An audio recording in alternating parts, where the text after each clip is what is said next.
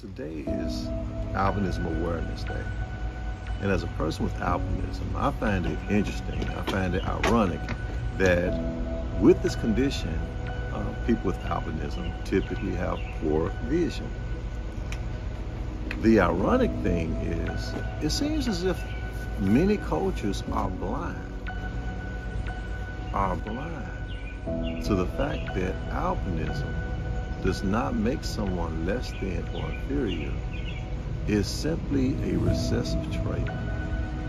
And albinism, just like any other condition that we all struggle with, that we all may have because no one's perfect, albinism is just one more thing that we are able to adapt. That we are able to go through life and flourish So on this day, I challenge the world,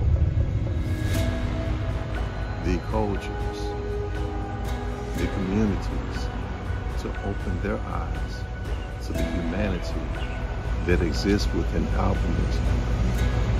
Thank you.